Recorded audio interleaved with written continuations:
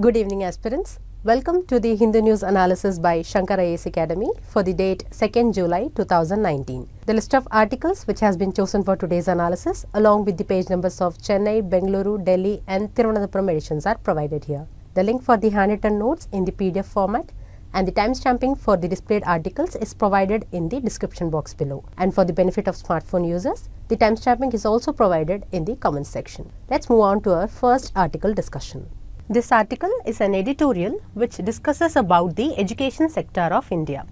The discussion is relevant in prelim syllabus under current events of national and international importance, then in Indian polity and governance, particularly under public policy, then in economic and social development, then the discussion is relevant in main syllabus in GS paper 2 under the area government policies and interventions for development in various sectors, then in issues relating to development and management of social sector relating to education, then also in important aspects of accountability. In this editorial, the author discusses about the education sector of India that is especially about improving the status of teaching profession by providing high wages. So, for that the author takes the example of Bhutan where the Prime Minister has recently announced a new policy which is not yet implemented. The new policy is that the teachers, doctors and other medical staff of Bhutan will earn more than civil servants of the corresponding or comparable grades. Now, this new salary scale is expected to benefit about 13,000 teachers and doctors in Bhutan. The author calls this announcement of new policy as a novel move, which means a groundbreaking move. This is because no other country has accorded the teachers and doctors in their country with such a pride of place or the most prominent position in its government service because the pride of place or the most prominent position are expressed both in terms of remuneration and also in terms of symbolism. Providing more wages than the civil servants is what the author is calling as symbolism here. We saw that the proposal was announced by Bhutan's Prime Minister, who himself is a qualified doctor. So, the author says this suggests that professional experience of a higher authority informs the policy. That is, it gives essential quality to the policy framed by the government. Even though we are praising the idea of Bhutan, one question arises here. What is the educational aspect of this policy? Is it possible to demonstrate that improving the status of the teaching profession positively influences the educational outcomes? Is it possible to demonstrate this? For this question, the author gives an example of a study. The study is called as Global Teacher Status Index of 2018. The Global Teacher Status Index is based on in-depth opinion by population in 35 countries which also includes India. The index explores the attitudes on issues ranging from what is a fair salary for teachers to whether they think pupils or students respect teachers to how highly people rank their own education system etc. There are many international comparisons in education, but this is the first time that the role of teacher status has been studied in depth.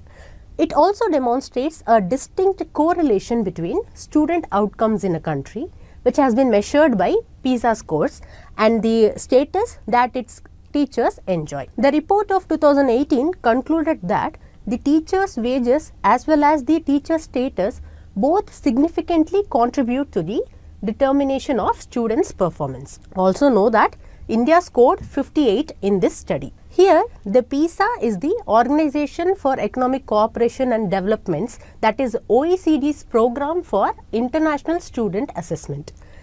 It is a triennial international survey that is it is conducted every 3 years which aims to evaluate the education systems worldwide.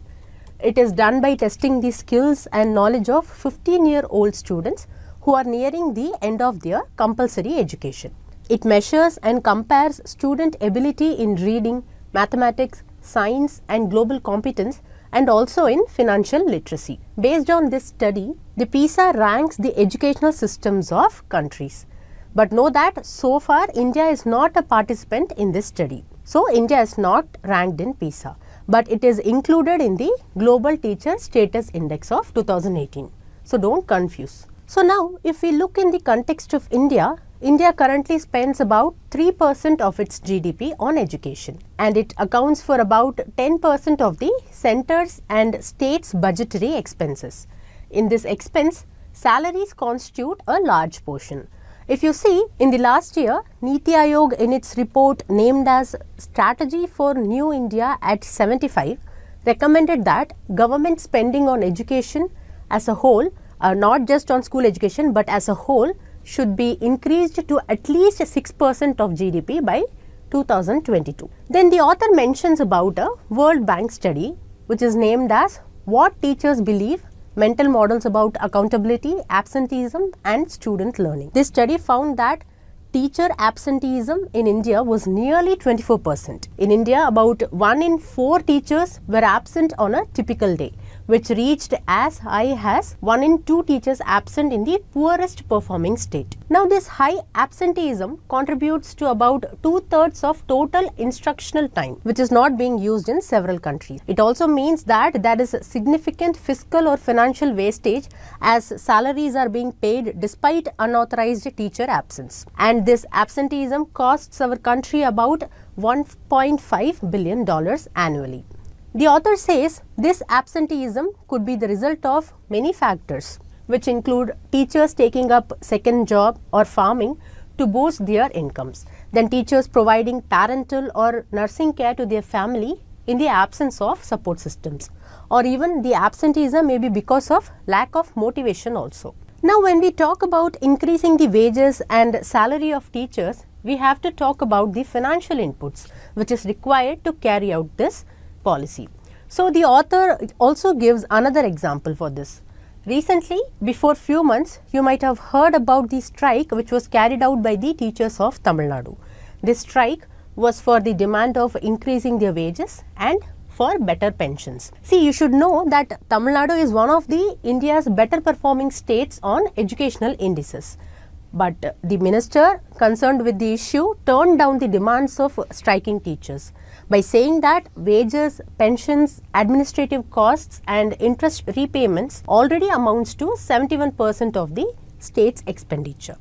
So, already the expenditure on education is high in the state. So, the minister asserted that very little amount is left for other developmental programs. That is why they have turned it down. So, based on the above mentioned problems, the author gives some suggestions. First, for tackling the financial problem, the author says even though paying teachers a, a, significantly higher salary may seem like a tall order or a difficult task, but uh, it can be easily addressed. For this, the central and state governments can consider rationalizing or justifying both teacher recruitment and allocation of funds to existing programs because some programs may have completed their purpose and still may be running and it requires money. So, that money can be reduced and it can be better directed to other programs so that there will be more money available for education. The author adds one more point which is improving accountability in the system because it can free up huge savings. This is due to the reason that the teachers operate in a low accountability system. Normally, a developing country education systems do not reward teachers for teaching well, nor do they penalize them for not teaching. Most importantly, there is no explicit link between teacher management and student learning. Now, this teacher management is characterized by very high job security, then seniority is linked with salary increases, etc. Then, in the absence of political interference, teacher promotion is based on the number of years of pre-service training, formal certificates and years of service, but not on student learning. So, if accountability is increased, the performance will be high and only efficient teachers will be paid high.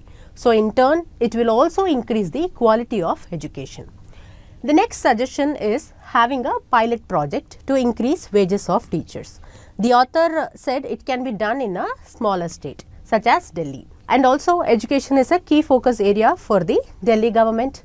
Then uh, also the state invests around 26 percent of its annual budget education sector and this 26 percent is way more than the national average. Then according to the author, the political leadership in the state is unafraid of both bold and big moves in the social sector. So, it is easy to implement a new policy in the state of Delhi.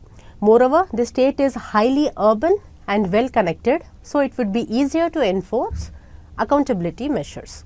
These are the reasons the author gives for choosing Delhi for the pilot project. Then finally, the author supports the move of increasing the wages of teachers by saying the investment cannot be considered too high by any society when the investment enables an educated, healthy, responsible and happy community. He also points to the OECD's another report which is named as Education at a Glance 2018 report. In this report, it mentions that the quality of education can be a strong predictor of a country's economic prosperity and shortfalls in academic achievement are extremely costly. So, the governments must find ways to compensate for the shortfalls and the government should ensure the social and economic welfare of all. Then the author concludes by saying that the government's intent on improving the quality of education should offer a step out of incrementalism in policy making. Incrementalism means believing in changes by degrees that is gradual change.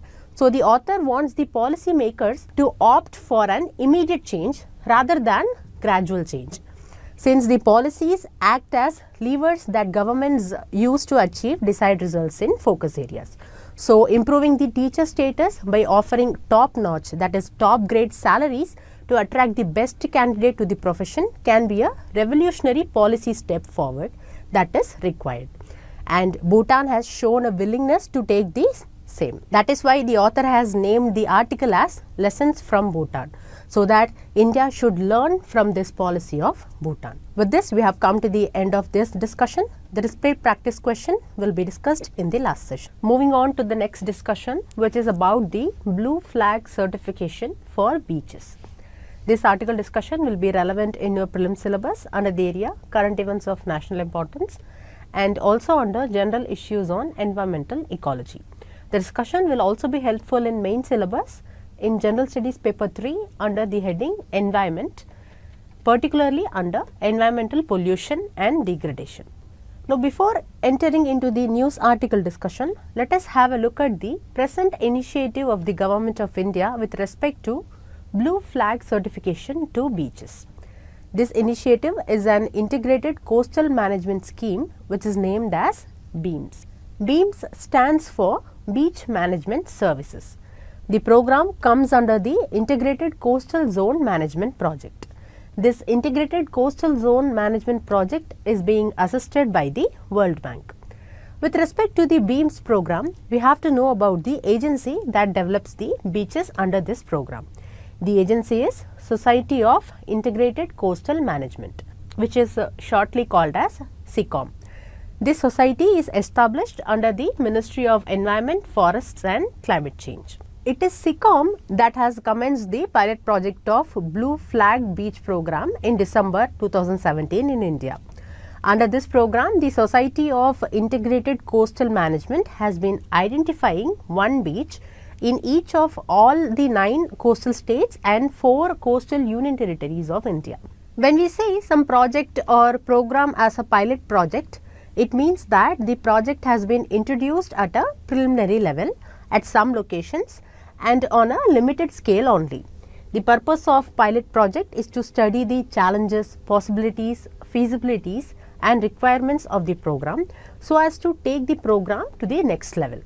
If they find that the project is not feasible in the pilot project, then they will stop with the pilot project alone.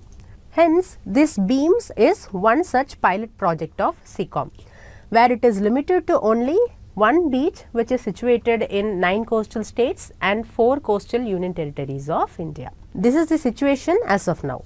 The main objective of the program is to promote sustainable development in coastal regions with respect to beach management. Also to attain high international standards in 4 categories of beaches. The main focus of this program is to attract domestic and international tourists. The four categories of beaches which we mentioned here are one is uh, environmental management. Uh, this includes the cleanliness factor and the solid waste management system. Then is the environment education, then safety and security of beach goers and then is the bathing water quality standards. Originally, the Blue Flag Beach standards are established by an organization called as Foundation on Environmental Education, which is shortly called as FEE. This organization started its work in the year 1987. It is based at uh, Copenhagen, which is the capital of Denmark. According to this organization, in order to make the beaches environment friendly, there are 33 standards in four areas that we have already discussed. The blue flag beaches standards were initially popularized all over Europe and it was extended to other parts of the world also with uh, South Africa joining the standards in 2001. Now let's come to the news article discussion. It states that the Tamil Nadu government is searching for suitable location to develop the location under the Blue Flag Beach program. The word scouting mentioned in the news article means searching in this context. The article states that the state government receives funds under this program from the central government. Initially, they have decided to develop Mahabalipuram beach which is situated in the Chennai city of Tamil Nadu. But since the waves currents are strong in the Mahabalipuram beach, it would not be safe for bathing requirements and other accessibility criteria so it has been dropped. Also in the month of June, the Ministry of Forest, Environment and Climate Change said that the Puri beach in the state of Odisha will be the first beach in Asia to get the blue flag certification, but it has not yet got it. Let us wait and see which beach is getting the blue flag certification first. With this, we have come to the end of this article discussion. The split practice question will be discussed in the last session. Moving on to the next news article discussion which talks about the violation of reservation in higher levels of teaching at various universities.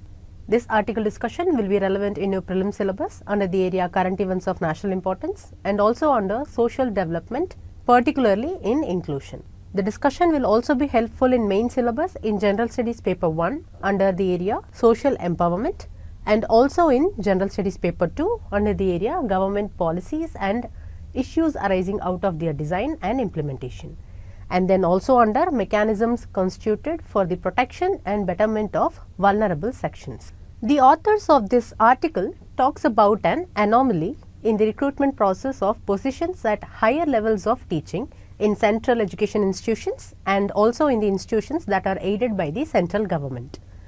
Here the word anomaly in this context takes the meaning of irregularity or abnormality in the recruitment process. The part of the anomaly is that some central universities have arbitrarily restricted the reservation of other backward castes to the level of assistant professor only. This means that the reservation for OBC will be there only till the level of assistant professor. Then for top positions such as associate professor and professor, there will not be any reservation mechanism for the candidates of other backward castes. In order to redress these irregularities, the Central Educational Institutions Reservation in Teachers Cadre Ordinance 2019 was introduced. An ordinance can be promulgated by the President when any one of the houses of parliament is not in session. And ordinance can also be promulgated when both the houses are not in session. We know that Lok Sabha and Rajya Sabha are the two houses of the parliament. This ordinance making power of president is based according to the article 123 of the Indian constitution. An ordinance will have the same force and effect such as an act or law of the parliament. The author says that the central educational institutions ordinance provided for the reservation of scheduled castes, the scheduled tribes and the socially and educationally backward classes in direct recruitment posts in teachers cadre. This ordinance will be applicable to central educational institutions and educational institutions that are aided by the central government. The ordinance has clearly indicated that reservation to the OBCs shall be provided at all levels of teaching. But despite the ordinance, some of the recent advertisements for the teaching positions in 13 central universities are in clear violations of this ordinance. Also, a clarification was issued by the Ministry of Human Resource and Development regarding the ordinance. Even after the clarification, just only one central university issued a revised notification that provided reservation for the other backward castes at all levels of teaching. This indicates that the other universities have violated the ordinance because they did not even care about issuing a revised notification for the recruitment. Then the authors cite an example where the reservation was provided for the economically weaker sections who are not included in the scheduled castes or the scheduled tribes or in the other backward castes also. This was observed in the Indira Gandhi National Tribal University. This university provided reservation for EWS category at the levels of associate professor and professor also. But the same university did not provide any reservation for the candidates from the other backward castes. This is what the authors mean by the term differential treatment because different treatment was given to EWS category and a totally different treatment was given to OBC category. In addition to this, some other institutions also do not have any reservation with respect to higher levels of teaching positions. We can take uh, Tata Institute of Social Sciences as an example for such a system where there is no reservation for higher levels of teaching positions. But it is said that Tata Institute of Social Sciences is known for its commitment for social justice. Also know that the people belonging to the other backward castes constitutes around 50 percent of India's population. But we could see only 9.8 percent representation in all faculty positions in all the central education institutions. Then according to the University Grants Commission, only 13.87 percent of the positions at the level of assistant professor are occupied by the candidates of other backward castes. This is the scenario with respect to the central universities. From this we can say that there is inadequate representation of OBCs at the top posts of teaching in central universities. When we mean central universities, it means the institutions of higher learning where the administration and control of the particular university lies with the central government. Then the author draws the attention to one another inference that they have found with respect to the representation of OBCs in comparison with the people belonging to the Muslim religion the representation of OBCs was less than that of Muslims at the higher levels of teaching. In OBC category, there are certain communities from Muslim religion also. The author says that if we exclude those communities from Muslim religion which are included in OBC, then if we look at the representation of OBCs in higher levels of teaching, the representation is almost negligible or very very minimal. Then the author states that the professors and associate professors play a significant role in the decision making process with respect to recruitments and at times they also misinterpret constitutional provisions. The authors are referring to article 16 clause 4 of Indian constitution that says that the state shall make any provision for the reservation of appointments in favor of any backward class of citizens if they are not adequately represented in these services. We know that article 16 of Indian constitution deals with equality of opportunity in matters of public employment. Then we can also note that even when there are violations with respect to the ordinance, the courts are just asking only to make correction to the advertisement. The court neither awards compensation to the petitioner nor it orders any punishment for the violators. The authors say that there was a noticeable delay in implementing the reservation for the scheduled castes, scheduled tribes and the other backward castes since the announcement. But for economically weaker sections, the reservation was implemented within a month of announcement. This is what the author calls as differential treatment. Finally, the authors conclude that this differential treatment will lead to imbalanced representation of a social group at the higher levels of teaching. With this, we have come to the end of this article discussion. The split practice question will be discussed in the last session. Moving on to the next discussion, which is about the core industries of India. The discussion is relevant in current events of national importance and then in economic development. It is also relevant in main syllabus under GS paper 3 in the area Indian economy. The news article states that the growth in the core sectors of economy has slowed to 5.1 percent in the month of May of 2019. This value is given by the index of 8 core industries. This was led by the slowing growth in the coal and refinery product sector. So, the slowdown in May was uh, led by the refinery sector which saw a contraction or decline of 1.5 percent as compared with a growth of 4.3 percent in the previous month.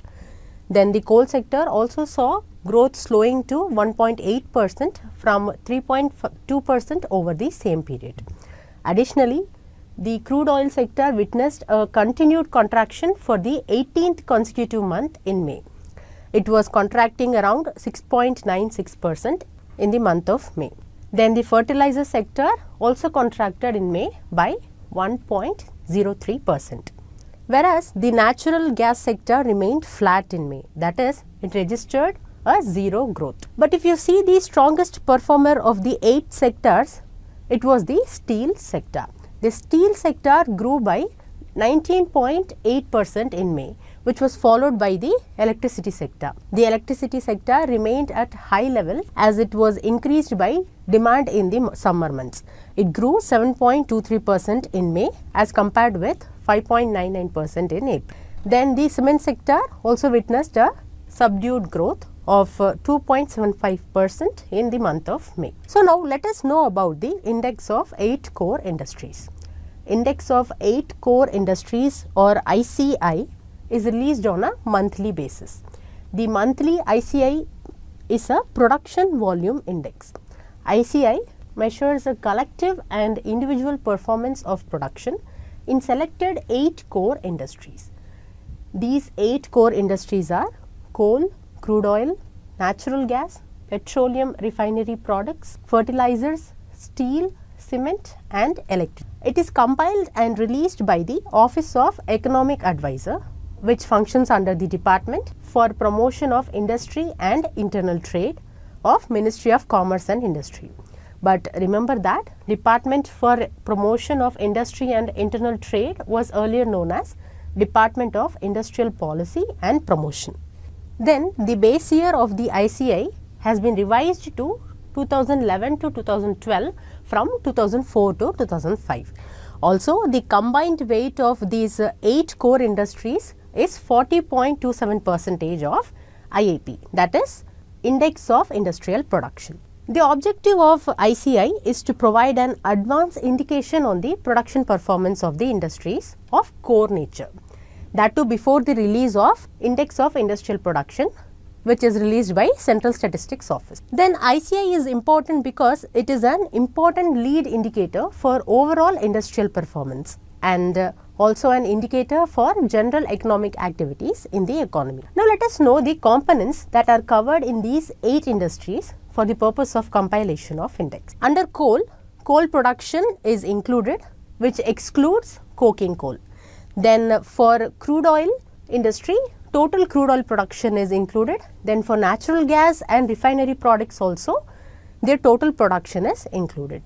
Then for uh, fertilizer industry, urea, ammonium sulphate, calcium ammonium nitrate, ammonium chloride, diammonium phosphate and single superphosphate is included.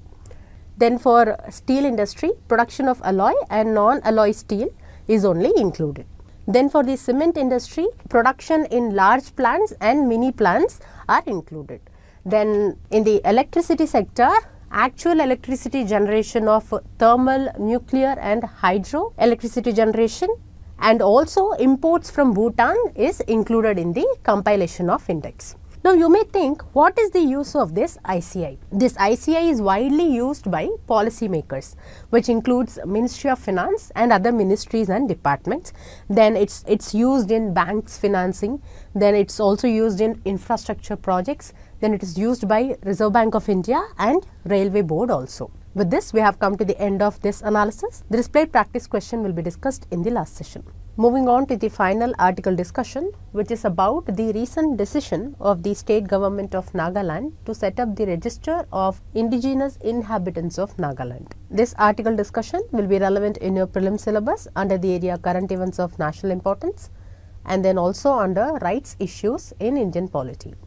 The discussion will also be relevant in main syllabus in General Studies paper 2 under the area functions and responsibilities of the states. In this article, the author shares her or his opinion about setting up of the register of indigenous inhabitants of Nagaland with a slight comparison with the present update process of NRC in the state of Assam. The author states that Nagaland is following the footsteps of its western neighbor that is Assam. Following the footsteps means adopting almost the same approach which is taken by Assam.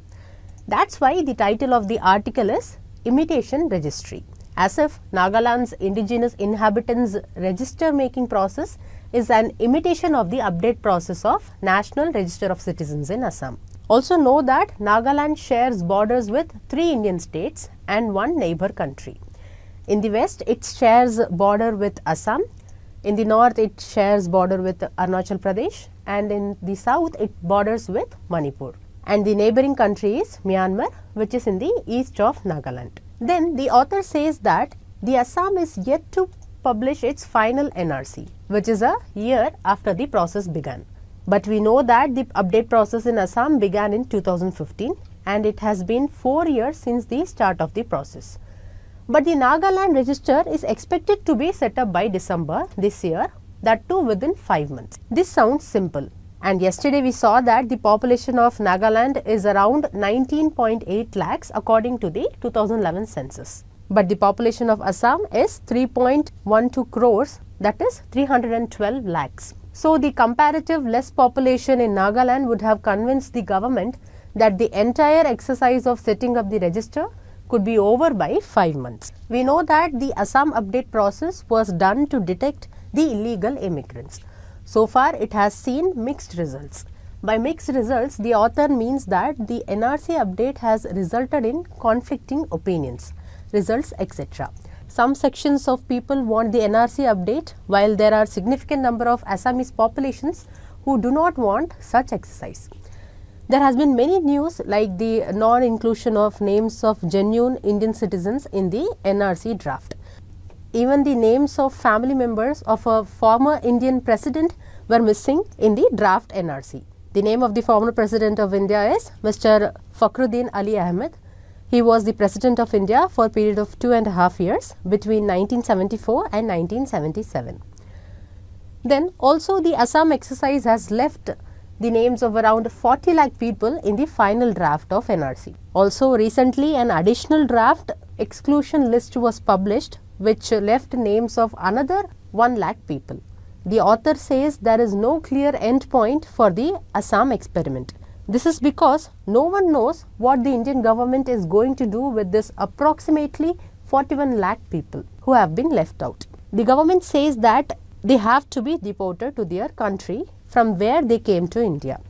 In the context of Assam, the majority of the 41 lakh people would have certainly come from Bangladesh. So, in order to deport them, first the government of Bangladesh has to agree to take them back. But the Bangladesh government has in a way expressed that it will not take them back by saying that the NRC update exercise in Assam is an internal matter of India. This implies that there is no possibility of deportation. Now, similar to Assam, one of the objectives of the new register in Nagaland is also to identify the illegal immigrants from Bangladesh. Two years ago, a town in Nagaland has passed a resolution to curb or restrict the illegal Bangladeshi immigrants and to prevent them from integrating with other people in Nagaland. There were also restrictions against them to live and to carry on trading. Here the author gives a fact about Nagaland. We know that the capital of Nagaland is Kohima, but the largest city of Nagaland is Dimapur and Dimapur is also the commercial capital of the state. But for whole India, the commercial capital is Mumbai. The reason for this is that the most financial and trade related institutions will be in that particular city and uh, there will be a lot of physical activity with respect to the transactions related to commerce. Hence, similar importance is there for Dimapur within the state of Nagaland. Then the author says that the situation in Nagaland is already volatile. Very recently, the Ministry of Home Affairs also has extended the operation of Armed Forces Special Powers Act of 1958 and the state of Nagaland is declared as a disturbed area under section 3 of the act.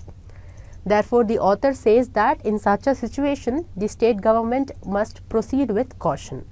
So, in no way the register setting up exercise should make an indigenous inhabitant of Nagaland as an outsider That is, it should not say that the individual is not an indigenous inhabitant of Nagaland. And there is no clear understanding about what will happen to those who are not included in the register of indigenous inhabitants of Nagaland. The author calls for having an appeal mechanism and a humane hearing to be an inbuilt feature of Nagaland's new exercise. The NRC experiment in Assam has witnessed several extremely divisive political posturing. This we could see from the fact that there was a lot of yes and no's among political parties for NRC update in Assam. As we could find some political parties favoring a certain section of population and others supporting other sections of people. Since the developments in Nagaland will be closely observed by other northeastern states, the compilation of the registry should not be driven by emotive political factors and political favoritism. That is, political emotions should not drive the compilation process. With this, we have come to the end of our article discussion sessions. The displayed practice question will be discussed in the next session. Moving on to the last session for the day, that is the practice questions discussion session. If you look at the first question, it is about the Global Teacher Status Index of 2018. Two statements have been given. The first statement is, it is released by the Organization of Economic Cooperation and Development every year. That is Organization of uh, Economic Cooperation Development is nothing but OECD. If you remember our discussion, we discussed that PISA that is Program for International Student Assessment is released by OECD. But this Global Teacher Status Index 2018 is not released by OECD. It is released by an international uh, organization which is named as Varkey Foundation which is headquartered in the United Kingdom. So, this statement is wrong. If you look at the second statement, it states that India has been included in 2018 index only. Now, this statement is correct because before 2018, Global Teacher Status Index was released in the year 2013 and at that time India was not included and it was included only in the year 2018 index only. So, this statement is correct. So, the correct answer to this question is option B 2 only. Now, in this second question, it has given a statement and four options have been given. The statement is which of the following program is associated with the objective to promote sustainable development in coastal regions and also to attain high international standards in certain categories in beaches. So, we have to look for the option which works with respect to beaches. Now, we have seen in our analysis that there is a program under Integrated Coastal Zone Management Project which is called as BEAMS. Uh, BEAMS stands for Beach Environment Aesthetic Management System which, which can be simply called as Beach Management Services. Now, the given statement is the objective of this program only. So, the correct answer to this question is option D BEAMS. But also know that the program across stands for Atmosphere Climate Research Modeling Observation Systems Services which comes under the Ministry of Earth Sciences. And the program SVEEP stands for Systematic Voters Education and Electoral Participation Program and this program is the flagship program of Election Commission of India. And then uh, HRIDAY stands for the Heritage City Development and Augmentation Yojana. This scheme comes under the Ministry of Housing and Urban Affairs. Now, if you look at the next question, it talks about Article 123 of Indian Constitution. It has given four options. We have to say which among the four options deals with Article 123. Now, we know that the power of President to grant pardon to the sentence of a person is mentioned within the part of President and Vice President under Article 72 of Indian Constitution. So, that is not a correct option. Then the power of President to consult the Supreme Court was dealt under the chapter Union Judiciary under Article 143 of Indian Constitution. So, this is also not correct. Then the President notifying certain tribes to be deemed as scheduled tribes comes under special provisions relating to certain classes under Article 342 of Indian Constitution. So, this is also incorrect. So, the correct answer to this question is option D which is the power of President to promulgate an ordinance when both or any one of the houses of parliament is not in session and it comes under article 123. Now, the next question is about the National Register of Citizens. The question states, recently the National Register of Citizens is being updated in which among the following states? 1 Nagaland, 2 Assam, 3 Manipur. we have to choose the correct answer from the code given below. Now, uh, for the past two days, we have been seeing news about Nagaland and some uh, register process. So, in a hurry, please don't mark as option 1 and 2 only because we know that the NRC process is being updated in the state of Assam. So, option 2 is correct, but uh, based on recent news articles do not mark Nagaland as the correct answer because Nagaland has decided to set up a register which is called as Register of Indigenous Inhabitants of Nagaland and the Nagaland process has no connection with the update process of NRC. So, here Nagaland is a wrong option it has been given only to confuse you. So, the correct answer to this question is option B 2 only. Now, in this next question two statements have been given and we have to choose the correct statement.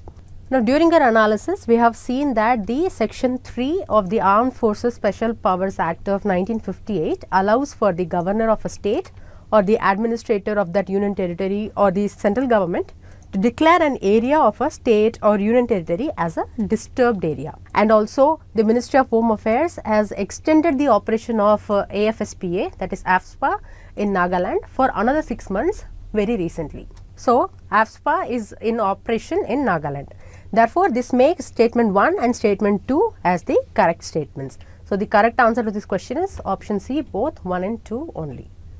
Now, let us see one mains question based on GS paper 2. Improving the status of teaching profession by providing higher wages. Evaluate. So, we have to evaluate this statement. Now, during our analysis, based on this topic, we saw a detailed discussion. And in that discussion, we gave the example of Bhutan, which has declared a new policy that gives doctors and teachers and other medical staffs in the country more wages than the civil servants. So, you can mention this example. Then you can also talk about the Global Teacher Status Index of 2018 and how the index has concluded that teacher wages and teacher status contribute to students' performance. And you can also mention India's score in this status. Then you can give some suggestions on uh, how to manage the fiscal challenges which will be tackled if the uh, wages are increased for the teachers in the profession. For that you can mention the same suggestions given by the author such as rationalizing teacher recruitment and allocation of funds to existing programs. Then you can talk about improving the accountability which is lacking in the teaching sector. Then you can talk about a pilot project which can be carried out in Delhi etc. Then you can add your own viewpoints also. With this, we have come to the end of our analysis sessions. If you like the video, don't forget to like, comment and share and do subscribe to Shankar IAS Academy YouTube channel for more updates on civil service examination preparation.